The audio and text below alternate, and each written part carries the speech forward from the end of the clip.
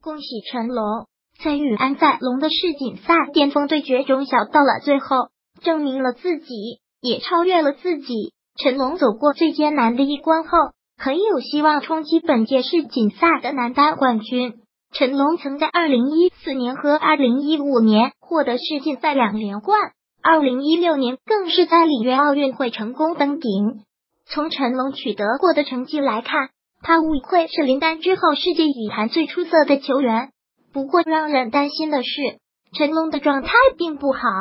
迄今他已经九个月单打无冠，而且之前和马来西亚以及印尼公开赛，成龙都遭遇一轮游。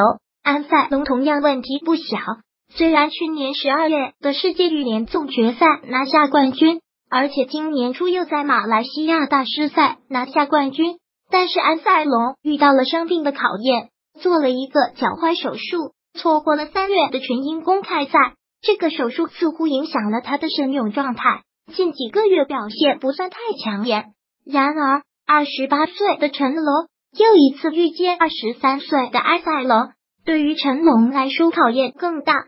正如之前所说，看上去成龙是走下坡路的，状态备受质疑。安塞龙还是在上升期，需要一个世锦赛冠军来证明自己世界第一，实至名归。从某种角度来看，这场双龙会就是名副其实的争冠天王山之战。最终，成龙找到了最后，他二比零打下对手，晋级四强。也超越了自己，可以说这一战让成龙拿下了提前上演的决赛。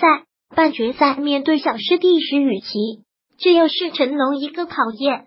不过，如果能够打出这样的状态，相信成龙是更被看好的一方。